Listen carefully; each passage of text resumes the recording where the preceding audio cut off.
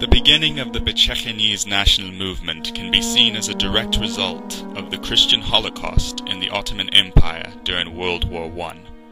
From 1915 to 1918, between 2 and 3 million Christians became the victims of genocide at the hands of the Muslim Turkish government. Immediately following World War I, with the Ottomans' defeat, the Christians of the empire cried out for a safe refuge from persecution. As the events of the genocide came to light in the Western world, the people of Europe and America were outraged.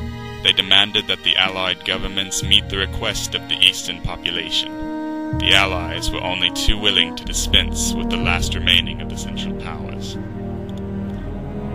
As they drafted a treaty to conclude the war with the Ottoman Empire, the Allies required the cession of massive amounts of land.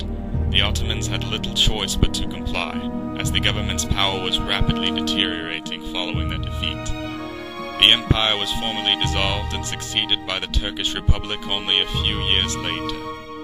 Most of the southern empire, however, was given into the hands of the eastern Christians, who formed a coalition government to create their desired refuge state.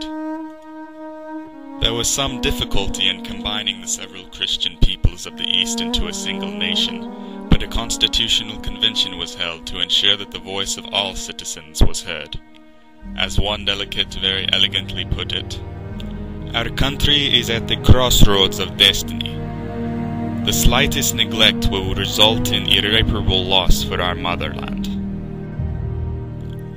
The people banded together with a common faith to give rise to a new nation, which they named Bitshekhina, the land of God's presence.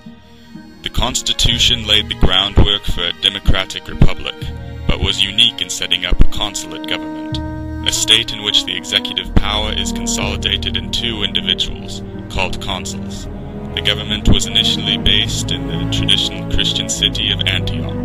The Democratic Republic of Bitshekhina had formerly been born. In the decades that followed, the nation began to slowly develop and to subjugate its territory.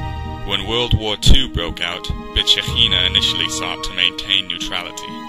However, most of her neighbors, seeing their chance to destroy their Christian counterpart, entered the war with the Axis powers. Bitshekhina was soon forced into the war with the Allies as it strived for its very survival, determined to prevent the events of World War I from ever occurring again. The Bitshekhinese quickly organized into an efficient and effective military force.